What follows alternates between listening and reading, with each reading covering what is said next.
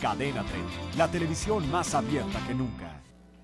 En Pachuca, el Bioparque Convivencia se ha constituido como un espacio para la rehabilitación y reubicación de ejemplares de vida silvestre rescatados del maltrato.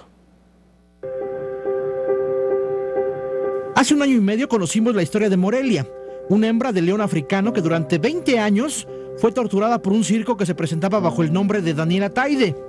Morelia aparecía en el escenario junto al guapísimo Tarzán, hombre de pelo largo y torso desnudo, que llevaba consigo un garrote que dejaba caer con toda su fuerza sobre la leona. Flaca hasta los huesos, deshidratada, sin garras y con una fisura en la parte frontal del cráneo, Morelia fue asegurada por la Procuraduría Federal de Protección al Ambiente en Jalisco. A partir de su rescate y su llegada al Bioparque de Convivencia Pachuca, constituido como la primera unidad de rehabilitación de fauna silvestre en México, todo cambió. De pesar apenas 40 kilos, hoy está a punto de llegar a los 160 kilogramos y comenzar una nueva vida en un santuario de grandes carnívoros en Colorado, Estados Unidos. Ella tiene 21 años y medio y queremos que su reloj biológico nos alcance para que ella decida si va a estar echada debajo de un árbol, si va a estar al lado de un río, si va a estar cazando algún conejito que se vea por ahí. El procedimiento iniciado por la Profepa concluyó con una multa de 126 mil pesos en contra de Gerardo Osorio González, quien rentaba el nombre de Daniela Taide sin tener registro para operar como circo, y su inscripción al padrón de infractores ambientales para tratar de evitar que pueda hacer daño a otro animal.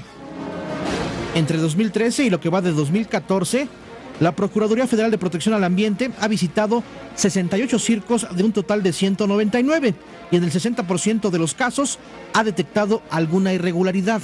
Son 11 ejemplares los que se han asegurado por un tema de faltas al trato digno y respetuoso de los ejemplares. Algunos de ellos eh, los conocen muy bien, que fue el caso de la leona Morelia en Jalisco y otro de ellos fue eh, el oso en el Harley Circus de Yucatán.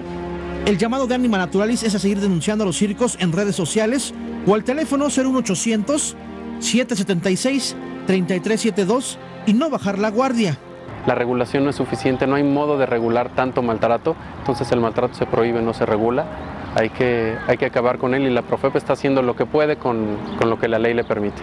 Morelia, un caso emblemático de maltrato animal en pleno debate de circos sin animales. En la Cámara, Fernando Cruz informó.